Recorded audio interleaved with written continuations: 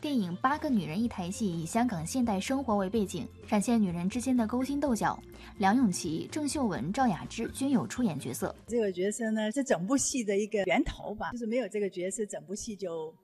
不会开拍，也不会 有发生那么多事件，发生那么多女人之间的斗争。赵雅芝上一次拍电影还是在二零一一年，当时也是客串关锦鹏导演的电影。看来关导这张招牌在赵雅芝老师这里还是很有用的嘛。他的标准也挺高的，而且他很细腻，对每一个。台词都有他自己的看法，导演好，角色好，最关键的还是剧本好。这不，最近每次见到他，人家都是在为电影做宣传呢。我觉得挺享受的，因为演戏还是一种魔力吧。你是演员，你总会喜欢有一个好的角色、好的剧本。文娱新天地编辑不到。